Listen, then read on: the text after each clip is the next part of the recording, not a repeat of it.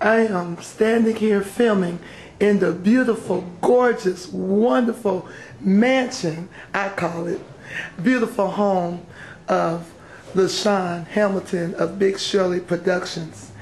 And as we're going to take a moment just to interview her, I know you all have been enjoying the play that she has put out entitled Don't Drive Mama Away. And you all know how I like to do.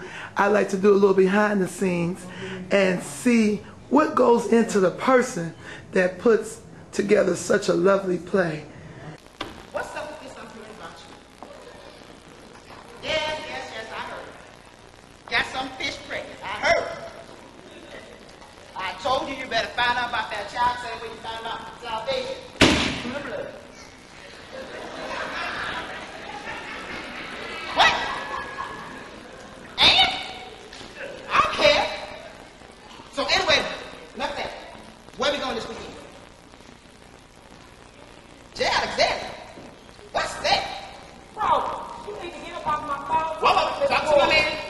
You need to get your own. Thank you.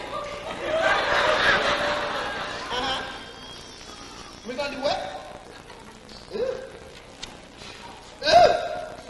Woo! Well, listen, I tell you what. I'm dealing with this thing over here. I'll get to you later. Okay? Bye. What is your problem? Talk to my man. You need a real man. What you want to drink? I want to kill. Straight. Okay, straight. You know, that's the only thing I like straight. Nah, that ain't all you like straight. That's a different girl. Yeah. Would you please get that? Oh, yeah. Oh, wait. Oh, God, I got a fish. Come here. What you doing up in here? I'm her friend. What are you doing in here? What up, girl? How you doing? I'm all right. What was the problem in church today? I thought you were leaving out early. Don't act like you did not hear that sermon.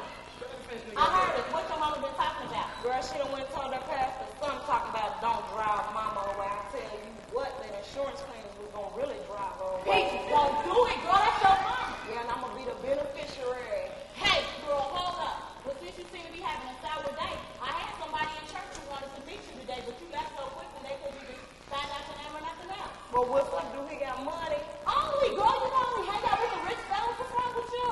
What's up? I had to show you all this beautiful home. I had to just take a moment and let y'all come inside to see what I see. And you can feel the peace of God all throughout this place. It's just as beautiful with the spirit as it is with the beautiful flowers and the beautiful LaShone Hamilton, who I don't even want to say the next Tyler Perry. Uh, she got her own thing going. So she's the next LaShone Hamilton of Big Shirley Productions. LaShone, thank you for allowing me to come into your lovely home. And I want you to just take a moment and talk to us. Just tell us your name and how'd you come up with the um, title of your production company, Big Shirley. Hi, my name is LaShone Hamilton, and I am the CEO and founder of Big Shirley Productions. And how I come up with that name, because Big Shirley was my first stage play name. So that's how I get the name Big Shirley. Wow. Okay.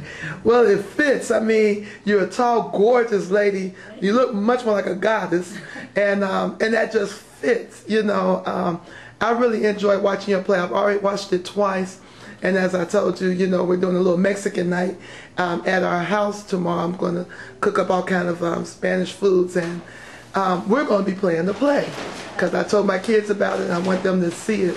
I'm just so excited. There was just so many themes that resounded throughout the play. Um, and I don't want to say too much to give it all away because you all out there in TV land and radio land and internet land, you all are going to have to see this play for yourself.